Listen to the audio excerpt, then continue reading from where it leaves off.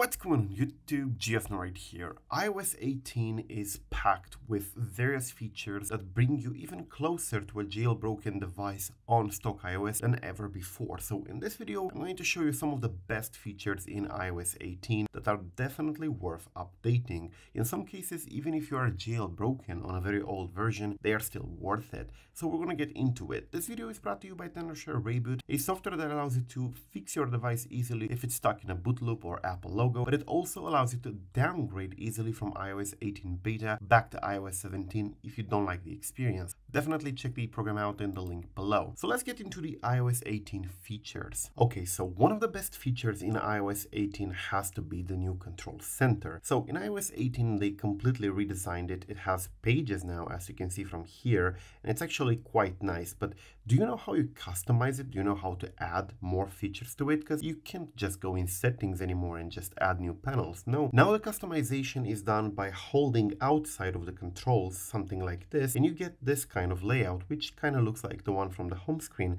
And you have the add control option over here. Much better, much sleeker, and you can see all the controls available. Now with iOS 18, what they introduced is that applications can have their own control center items in here. So if you have applications installed, they can add little buttons in here and maybe even full views like the focus one or maybe the connectivity one over there. So your applications can have individual controls in the control center. For example, we have the music application, which shows this over here. So you can tap it and it will be added over there. Now you can see you can make them bigger and smaller and make them fit properly. So I'm going to move this one over here. This one is now full size. If I want to make it a little bit smaller, I can do so and it fits snugly in there. And you can even move them to different pages. Now this is great because you can change change the order now and they can have a bigger order, smaller order. You can see over here that I can create an entire page only with connectivity while also maintaining some of the features on the other pages.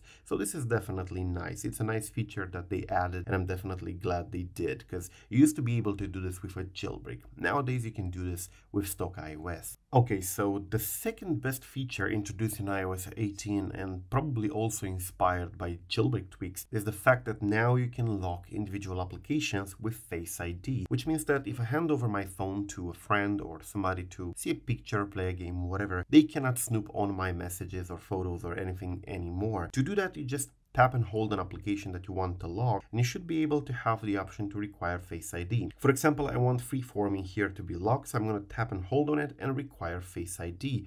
Press require Face ID and that's about it.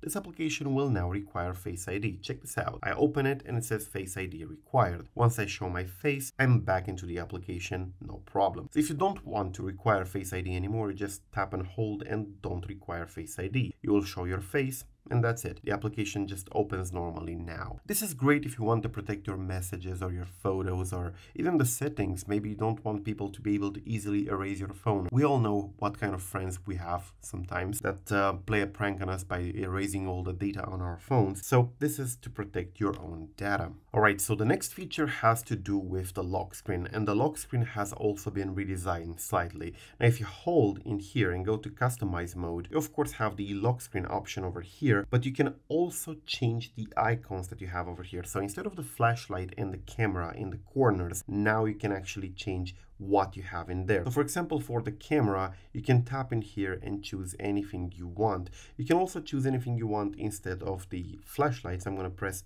plus over here and you can select between calculator and translate and dark mode, timer, stopwatch, scan QR codes, whatever. But there are a couple of things that you can do in here. For example, you can activate an alarm and turn on airplane mode, cellular data, stuff like that. And I assume applications might be able to have this kind of stuff in the future. There is even a dedicated recognized music button, which I believe uses Shazam. If you want to create a dedicated Shazam button, now you can. Or if you want to create, for example, a dedicated calculator button, now you can, you tap the calculator button, you press done, and now you go back to the lock screen. And there we go, my lock screen now has a dedicated calculator button, which I can definitely open by tapping and holding. Alright, the next one you may not find very interesting, but I do believe it's a useful feature in iOS 18. They finally moved the settings section with the applications into its proper section, and it's not all the applications in bulk in here at the end of the settings panel. So now if you go here in settings, it's much more organized. You go here, you have an apps section, you tap on it and they are alphabetically sorted. So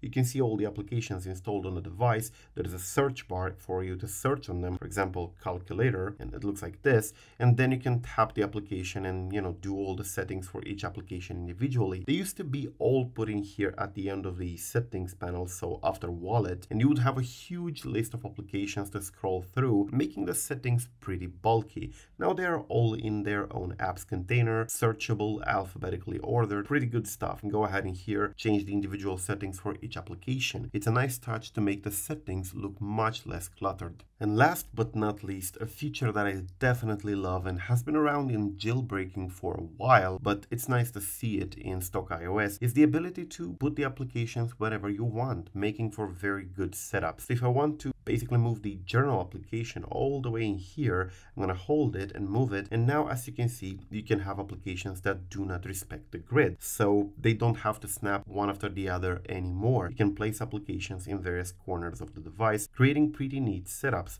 like this one. So I can easily move it like this and leave that portion empty. You used to not be able to do this on iOS, but now you can, which means that you can now show your wallpaper better or frame it in a way that maybe somebody important for you is showing up and it's not covered by application icons. Pretty neat stuff. I know Android had this for a long, long time. It's finally creeping into iOS as well. So there you have it, some of the best features introduced in iOS 18. If you want to check out more of what you should expect from iOS 18, I do have an article here on iDeviceCentral.com. It will be linked below, and this one contains everything that I missed in this video, like RCS support and some of the home screen customizations, the enhancements to Siri, which you know includes generative AI and stuff like that, enhancements to Apple Maps, and maybe other stuff. So definitely check out the article because we didn't cover everything in this video. However, the link will be below. Thank you for watching. Tell me in the comment section down below whether you are updating to iOS 18 or sticking to iOS 17 or 16 for a jailbreak. Thank you for watching. I am GeoSn0w. Peace out.